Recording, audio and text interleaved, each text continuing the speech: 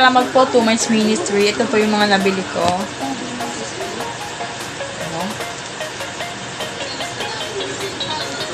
Notebooks, um, 10 pieces. Small notebooks. Tapos, tatlong big notebooks. Ay, thank you po. Tapos papel.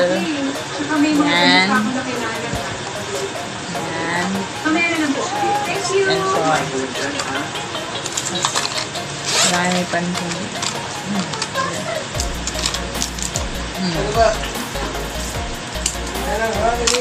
Thank you po ulit to my ministry sa blessings. God bless.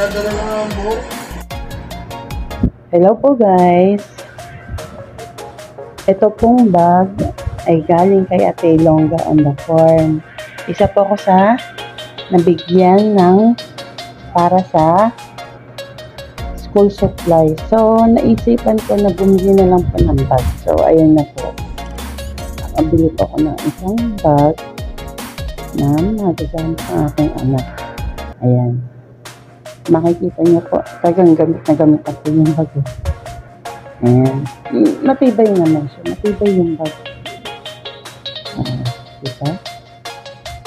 Talagang tibay. Tapos, nakapalpa ang tela niya.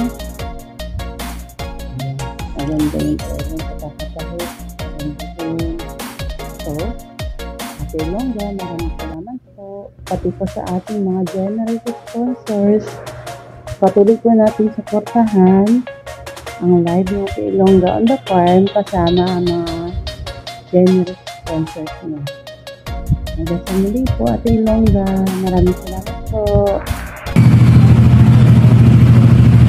Isa- isang kilong bigas, brown rice, biscuit, sabon, yan, tas chocolate drink, at corny. Maraming salamat po, Ma'am Ilongga the Farm, and Miss Weng, and especially to Two Mites Ministry sa paayuda. Sana wag kayong magsawang tumulong sa mga nangangailangan. Salamat po. Bye!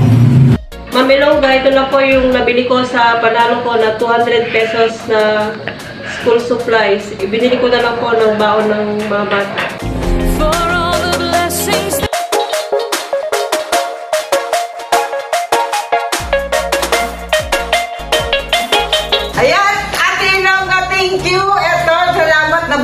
Sa ruleta. Ito, binili ko, Quaker Oats. Yay! Bumili din ako ng pang spaghetti. Gusto ko kumain ng spaghetti. Bumili din ako ng luya. Bumili din ako ng saging. Ayan, thank you very much and God bless you. Mwah, mwah, mwah. Mwah, mwah, mwah. Magandang araw po, magandang buhay. Ah, maraming salamat po Ate Elongga. Ito na po yung ano, napadalanan ko. Binili ko po ng tatlong kilong bigas at dalawang noodles.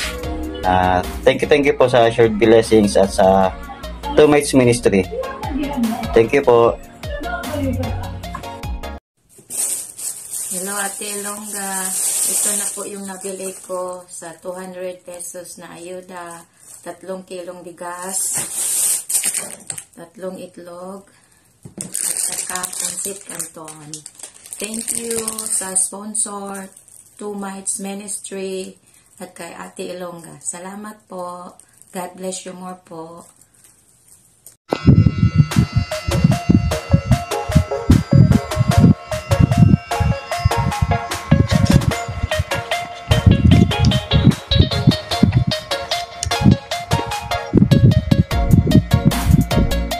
Po sa lahat. So, ito po yung nabili ko sa ano ko na yun, sa roleta ko.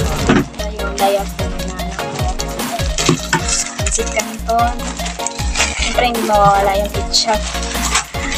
Tsaka, toothpaste. So, yun lang. Maraming maraming salamat po. Uh, Two Mites Ministry and Ilongga Farm. God bless po. Bye. Hello po, ito na po yung nabili sa ayuda ni Bad Boy.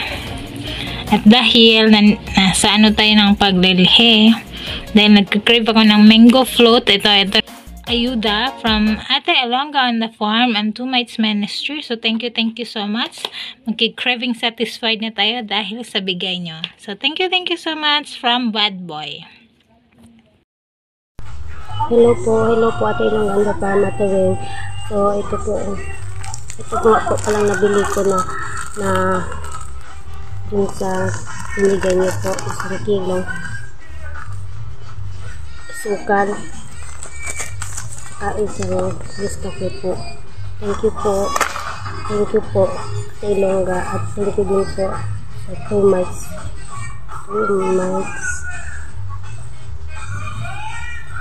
ministry. Maraming maraming salamat po. Gagamitin po namin ito sa mga nanay po namin. Thank you po. Maraming maraming salamat po sa ayuda galing sa Two Mites Ministry and Ilongga on the Farm. Ito po ay malaking tulong na sa pang-araw-araw na pagkain. Maraming salamat po sa inyo.